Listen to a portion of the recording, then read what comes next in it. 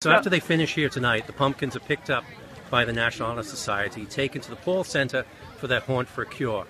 Following that, they go to the Parlee Farm for Air Pumpkin, our event where we have a trebuchet or a pumpkin chucker that launches them into the fields where they're composted. So the pumpkins here don't end up in the trash and don't cost the town anything, but are recycled into the earth. All right, biodegradable. Thank you.